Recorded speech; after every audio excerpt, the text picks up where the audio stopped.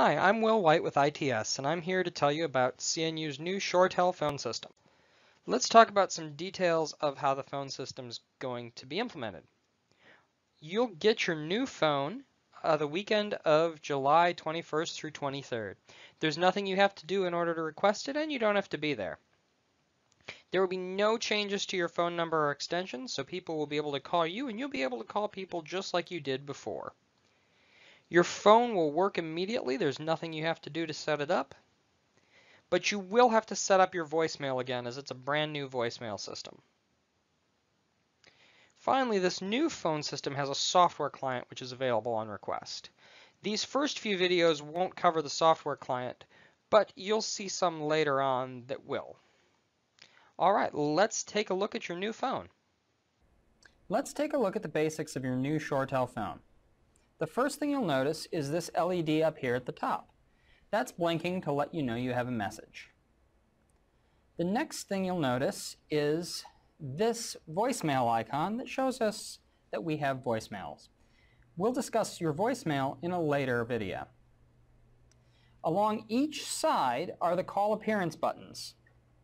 You can also use these as speed dial, which we'll show you in a later video. But the buttons beside the different little phone icons light up in different colors based on what's going on with your phone. If they're flashing green, that means someone's trying to call you. If they're solid green, it means you're on the line. If they're flashing orange, it means the person is on hold. And if they are solid orange, it means you have set your phone to a do not disturb state. We'll talk about states in a later video as well. Below that, you see the soft keys. These change based on what you're doing with your phone. And you can see on the screen what they do at any given moment. This is the volume rocker. It controls the volume of every aspect of the phone. If you don't touch anything while using the volume rocker, it controls the ringer volume. If you have the handset picked up, it will control the volume of your calls. If you have the headset or speakerphone buttons held down while you're using the volume rocker, it will control the volume of the headset or speaker. Below that, you see the headset and speakerphone buttons. These buttons allow you to either use the built-in speakerphone in your phone, or if you have a headset, we'll turn that on. Between them is the call mute button. This mutes the microphone while you're on a call.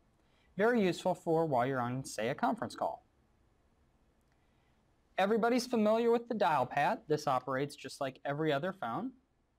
To the right of the dial pad, you have the arrow keys, which will help you navigate menus. And in the center of the arrow keys, this button actually will activate whatever is underlined up here on the screen. So if we were to press it now, it would activate the options menu. Then below that you have the hard keys. We'll cover many of the functions of these in this and other videos. Nothing's changed about the way you make or answer a call. All you need to do to make a call is pick up the handset and dial. After a short while, you'll be connected with another phone. Likewise, answering hasn't changed. If I call this phone, you will shortly see caller ID and see the line light up and flash. Then you can either pick up the handset, or if you want to use the speakerphone, you can just push the button that's flashing.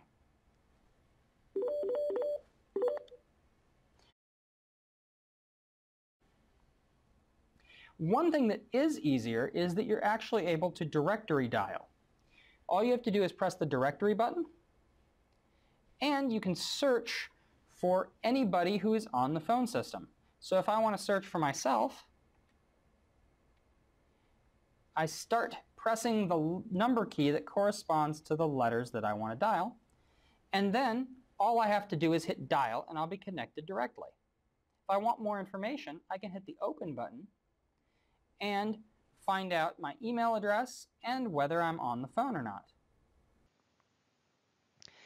So I hope you've enjoyed this video. Um, if you need additional support for your phone, call our CNU help desk at 757-594-7079 or put in a ticket at help.cnu.edu. Thank you.